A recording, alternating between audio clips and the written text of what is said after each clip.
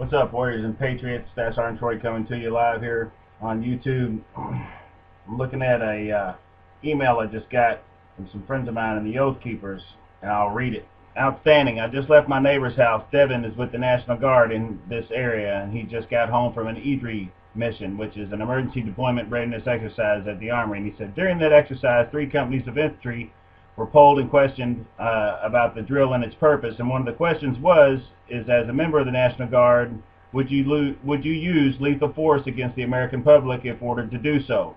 One of the men stepped forward and refused to take the poll and explained this was against his better moral judgment on his part and that he would not do so. And then he placed his weapon on the deck, which is the ground, and fell behind the formation. Devin said it was like a waterfall. Every member of, of their company laid their weapons on the deck and fell beside the lone specialist. This included all NCOs, staff NCOs, and senior NCOs, and only left the people in the front of the formation, which was three captains, two lieutenants, and the battalion commander, who was so upset he started having chest pains from yelling and screaming about court-martials and disbandment of the unit and to other units, and Devin, who is a master sergeant, went to his troops and told them that he could not have been prouder, and he was floating on clouds while he was telling me this.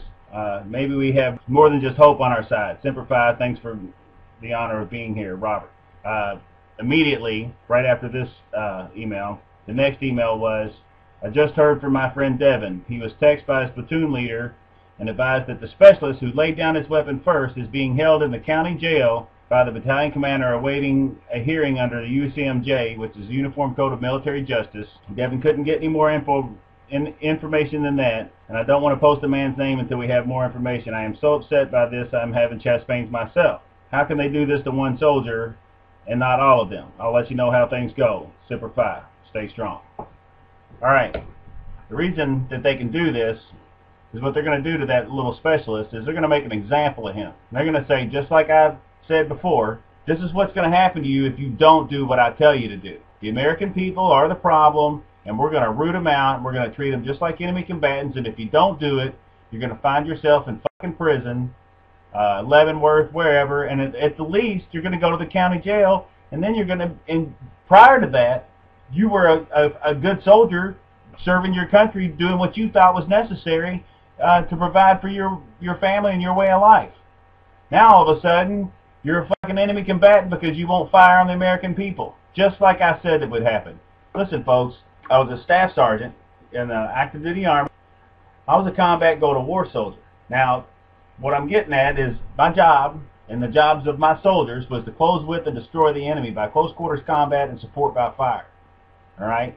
Maneuver, throw hand grenades, blow shit up. That was our job. All right? Now, they're wanting these same soldiers to do those kind of things on the American people.